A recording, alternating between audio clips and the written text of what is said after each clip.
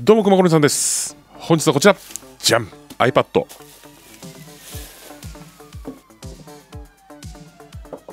ほうほうほうほう。はいこちら。iPad8 セルラーモデルですね。いやセルラーモデルの iPad 欲しいなと思っていろいろ検討したんですけど iPad8 はねホームボタンがついてる最後のモデルですね。iPad9 からホームボタンなくなってます。まあ、かといって Face ID がついてるわけじゃなくてタッチ ID がここについてるだけなんだけどね。で iPad の7と比べると CPU が良くなってるだけのはず。でこちらのジャンクパネルが割れております。この辺結構バリバリになってるね。でもね本体綺麗。あここにシュッて傷がついてるかな。まあこんなやつね。すり傷みたいなのが少しついてるぐらい、まあ、この割れてるところのここにこの傷がついてるぐらいかな。これね。まあほぼ気にならない傷ですね。ちなみに iPad の8は2020年発売。で中古だとねやっぱ4万ぐらいするんですけどジャンクだとね3万切ってるんですよ。でさらに単純にパネル割れだけだったらこのパネルが3000円ぐらいで買えるんで、まあ、新しいものに交換しても、まあ、込み込み3万ぐらいでセルラーモデルが手に入るかなっていう感じですね。まあそしたら iPad8 でいいかということでこれを買いました、まあ、発売からちょうど3年ぐらい経ちますけどまだまだ現役でいけると思います。まあそんな iPad8 なんですけど動作チェックしましょうか。電池は謎あ来た来た来た。液晶はちゃんと映ってますね。タッチパネルも動いてるんで多分大丈夫そうですね。そうか先にセットアップして動作チェックやっちゃおう。ちょっとやってみるね。新しい iPad 来ました。ちょっと先セットアップしちゃうね。タッチ ID 指紋は認証 OK ですね。はい、OS は iPadOS17.03 先インストールしちゃいますね。はいセットアップできました。こんな感じで普通に動いております。で、まあ、Bluetooth できてるし Wi-Fi も動いてます。でタッチパネル OKOS も17.03になりました。電池が違うよとか液晶が違うよとかそういうアラートは出てないですね。そしたら SIM ちょっと SIM 入れます。あら？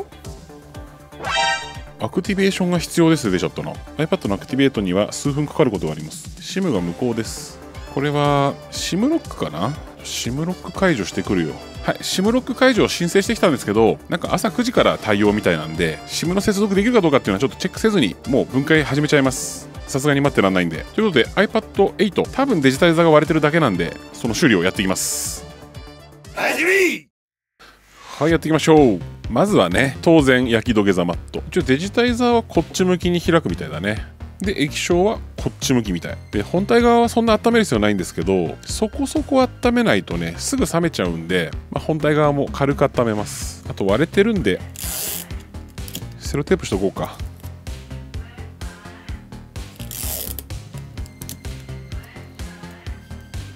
一応温度70度設定にしてあります。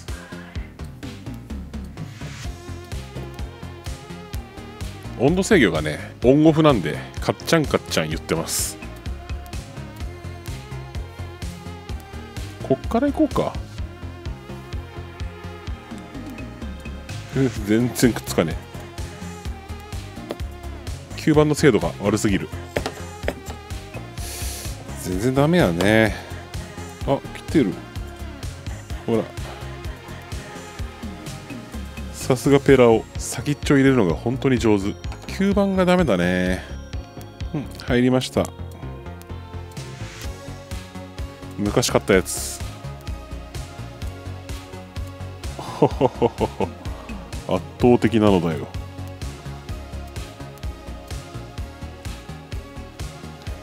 いっちゃったよ。前回壊されたピック。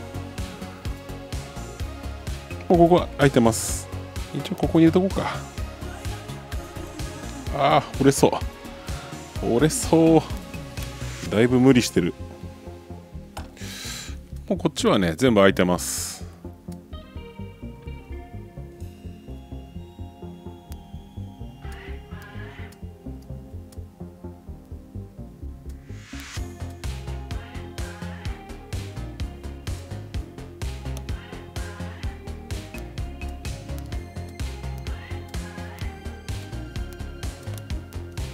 はい。テープも取れましたね。とっても素直な筐体です。じゃあ上部やっていきます。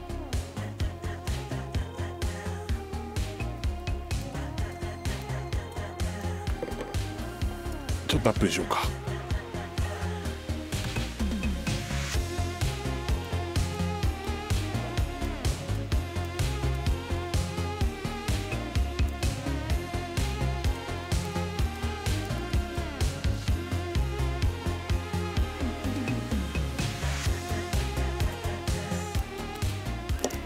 角が開いた。でちょうどこの真ん中あたりにカメラあるんで、まあ、あんま差し込まないようにして。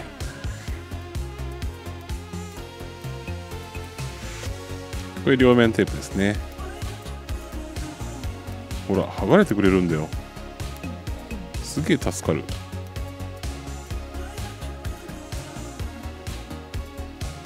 今こんな感じね。横全部取れててあでもなんか接着剤でまたくっつこうとしてるね。上側はこんな感じね。もうこっちまで来てます。で焼き土下座マットからねこのフレームを伝って熱が来るのでおやっぱ楽。ここは一緒ね。この状態でいってます。ほら楽。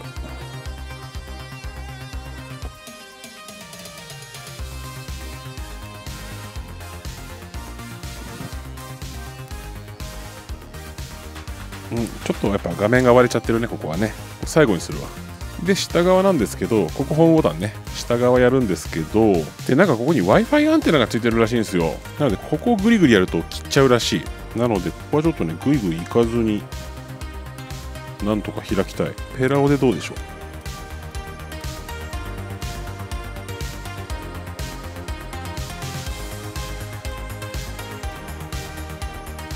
う？うんちょっと見えないところやるのは怖いね。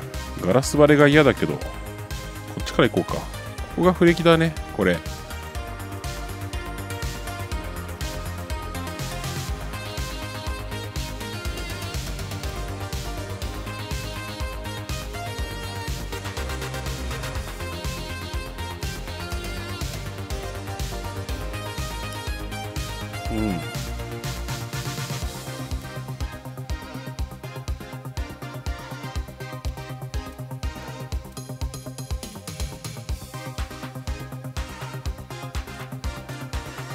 ここもフレキ入ってますね。これ？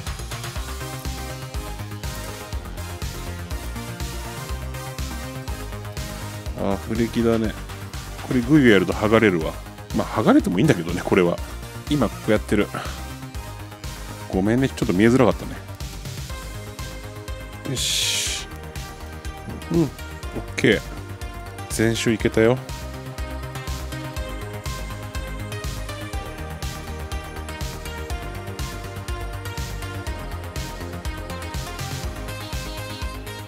はい開きました。一応このアンテナは無事ですね。液晶のネジ4本取ってきます。で下2本は見えるんですけど上2本がね隠れキノコになってます。そうねここにいますね。昔の iPad と変わらん。うんいますいます。はい皮むきむきしましょうね。ネジ4本取りました。でこれが手前に取れるみたい。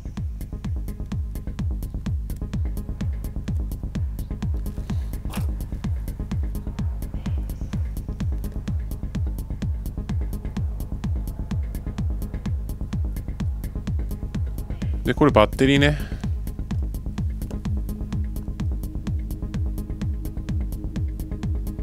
うん。はい。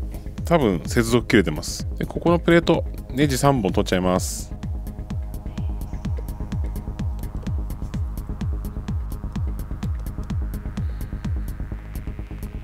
はいネジ3本外しました。はい。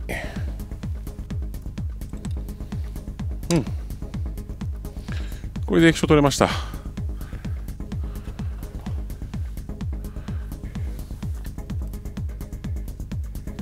はいそんでデジタイザーのフレキはここ2箇所ですね。コネクタ。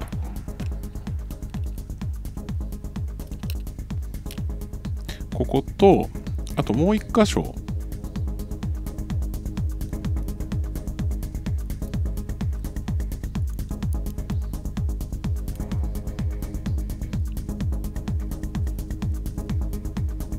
ここラッチ2箇所ですね。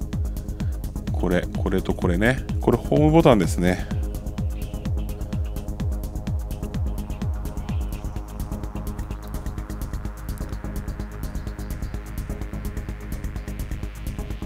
ほい。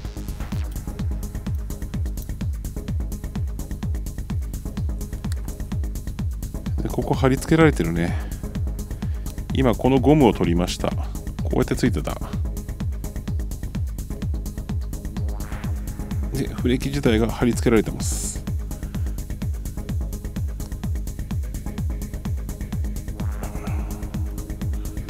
はい。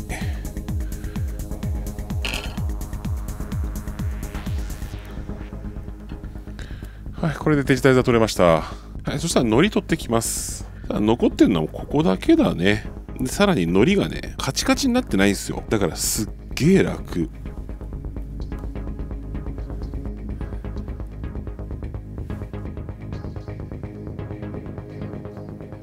ちょっと IPA で糊を取りましょうか。ただこの粘着剤って取る必要あんのかね？よっぽどダマになってたらさ取った方がいいけどさうっすらついてる粘着剤なんて別に害はない気がするんだよね。なんかそんな気がする。これでいくわ。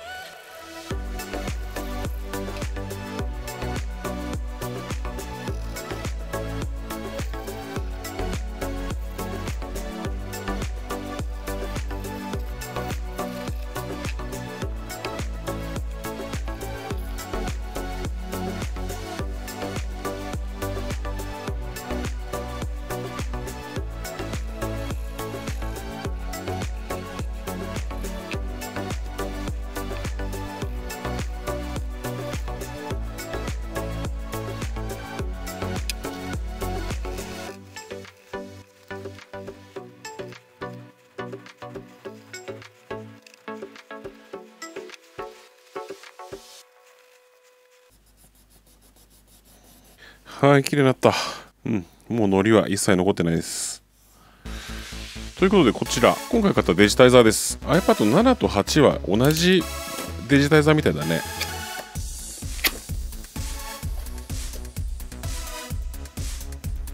ああ工具ついてる。ありがとう。ありがとう。ピンセットまでついてる。すごくね。3000円ぐらいだったけどグッドのピンセット。あとヘラ。すげえ。超豪華セット。ありがとう。はいこちら。まず前後にフィルムが貼ってありますね。すんげえ粘着。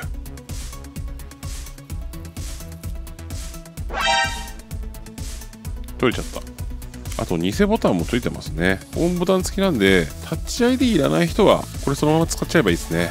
なるほど。見比べましょうか、まあ、これはちょっと付け替えたい。カメラのガイドもついてますね。付け替えるとしたらホームボタンぐらいですね。お兄さんはこれがすごい苦手です。はいそしたら古い方からホームボタン外していきます。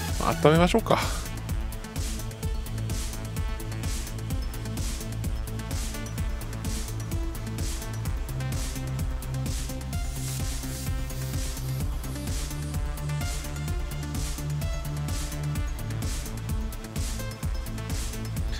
ここちゃんと加熱してやった方がいいね。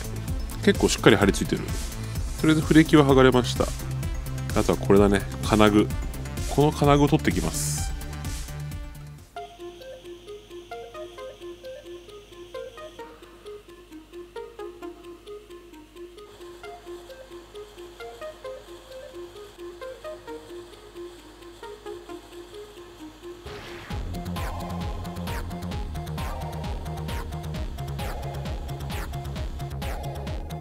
取れました。これごといこうかな。金具ごと。あちい。あつ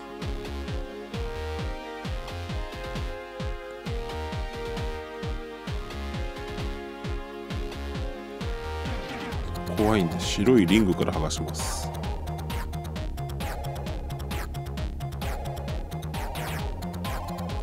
台座のところね。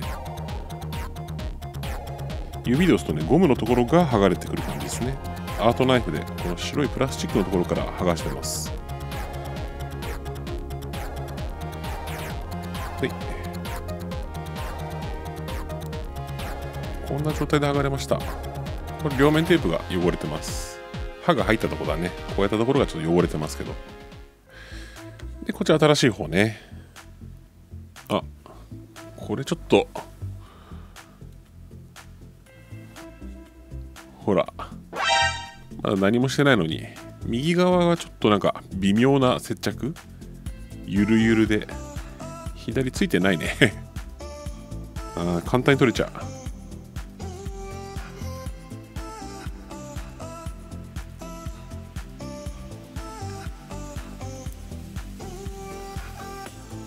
左全然ついてないわ。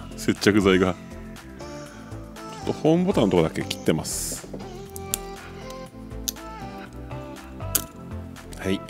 ホームボタンないやつ買った方がよかったね。お兄さんホームボタン付きを買ってしまったみたい。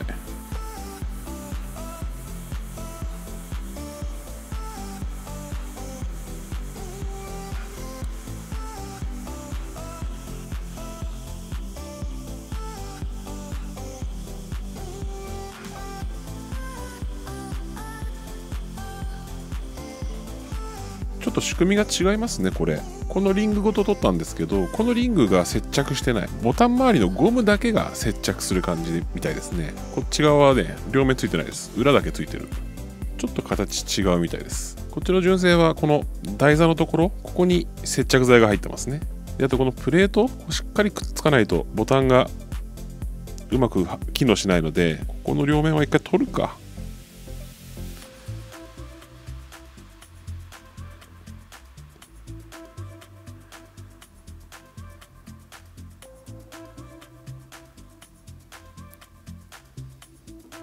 両面テープみたいな感じだね。剥がしたやつ両面テープっぽいです。両面プラス接着剤なのかな。ここはね傷つけないようにした方がいいですね。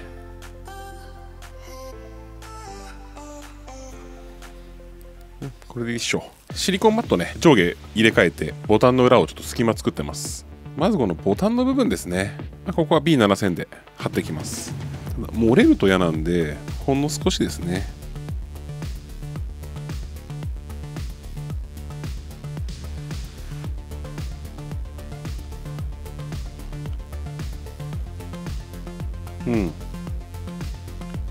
感じ？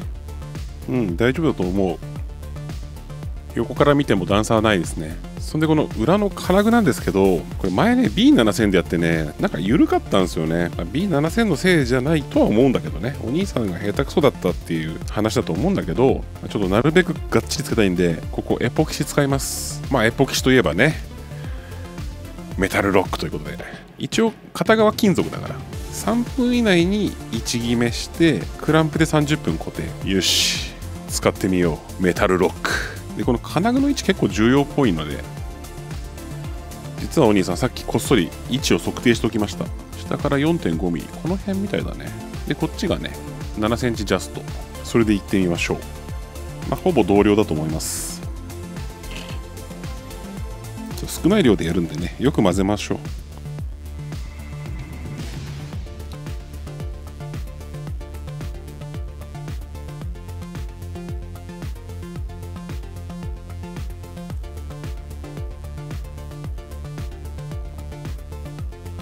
これで固定しちゃいます。あー難しいなこれで。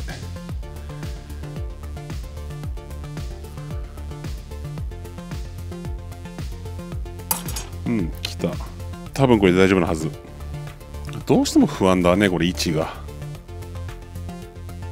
うん上下方向は大丈夫、まあ、多分押し心地はこれで問題ないと思うんだよね。これで1時間半ですかね。置いときましょう。位置は大丈夫だと思う。はいこんなことやってました。温度38度。でまあこれくっついてないんでね。こういう状態なんで、まあ、ちょうどこのプレートあたりが30度になってくれるかな？みたいな。焼き土下座マット38度にして温めてました、まあ、全然あったかくないんだけどね。30度だったら30分で実用強度になるって言ってたんですけど1時間半ぐらい今放置してあります。いや多分硬化してると思います。じゃあ撮ってみますね。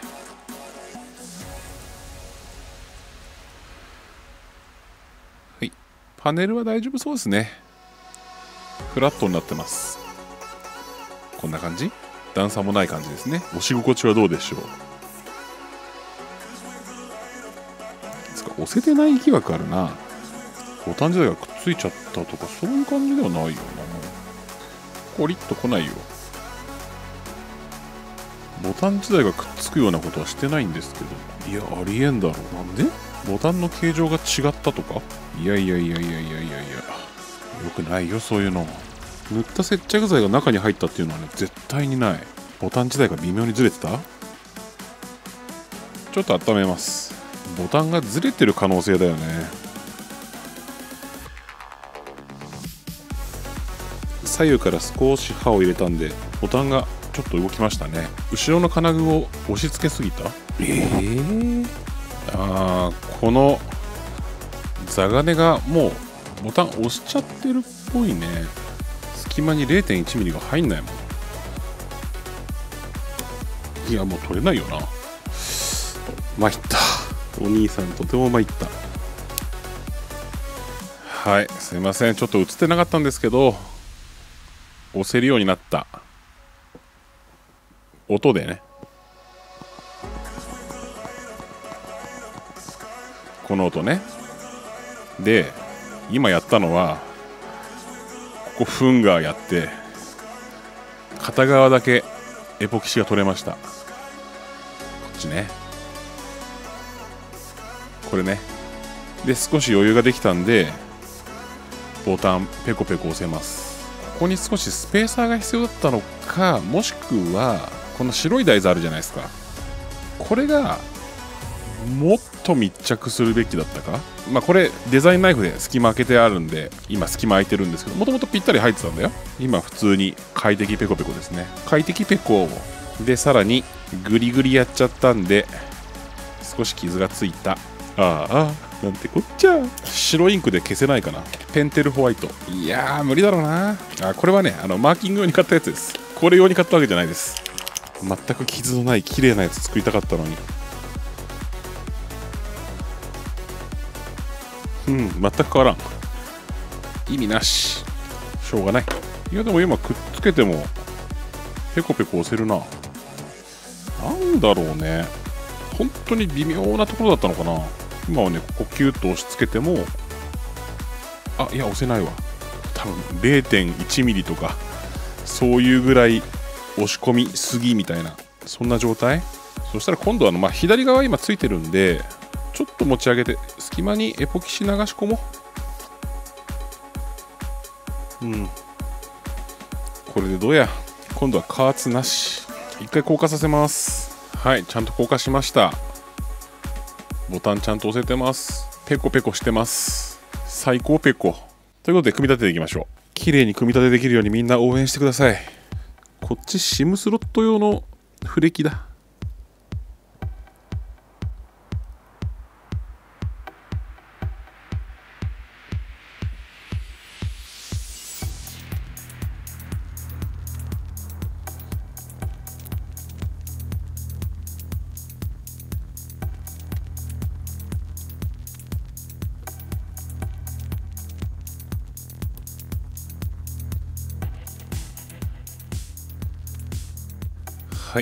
感じですかね。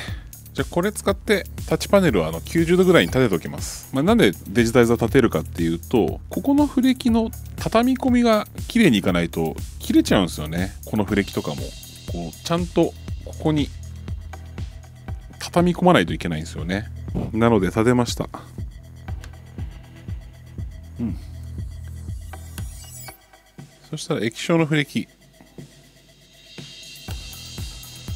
うん。と液晶も立てておきますね。あそっか。一応見せましょうか。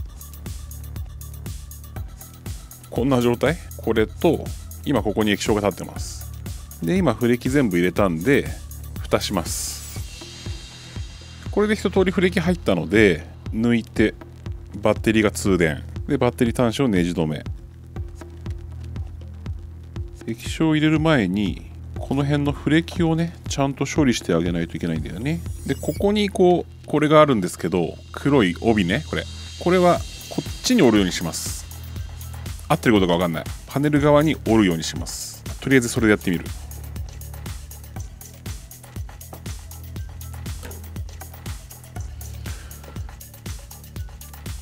違う。両面ついてるわ。先に貼ればよかった。先にやればよかった。先フィルム剥がしちゃいます。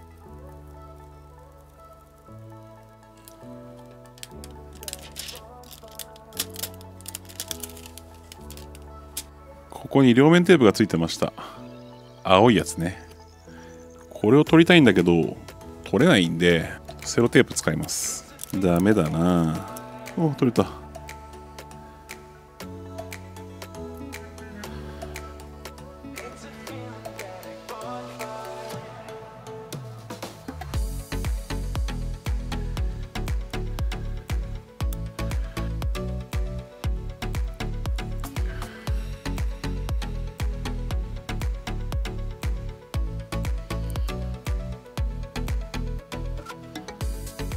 よしフレキ貼りました。ビニール敷いたのは失敗だったみたい。少し跡がついてる。消えてくれればいいんだけど紙にすればよかった。デジタルの両面テープの剥離紙剥がしていきます。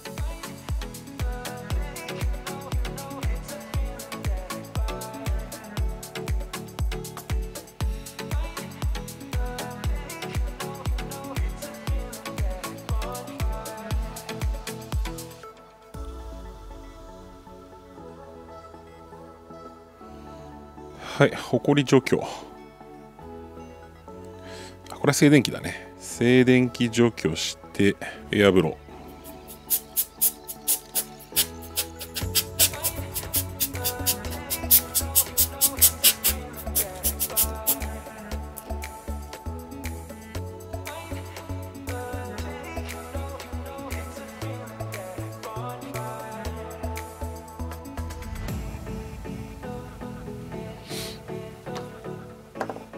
る前に動作チェックすればよかったね。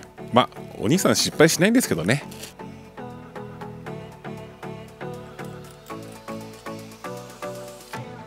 これはねもっと買っとけばよかったと思うね。万力。全部につけたいもん。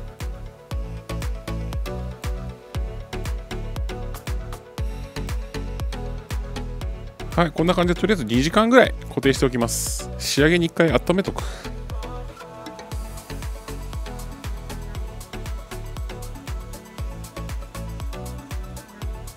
回軽く温めて密着よくしてみました。まあ大して変わんないと思うけど。はい。しばらく放置します。はい。2時間ぐらいですかね。放置してみました。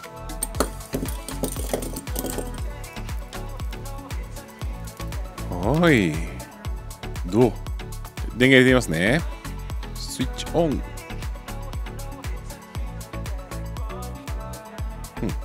タッチ ID のテストはい、OK。はい、タッチパネル、大丈夫そうですね。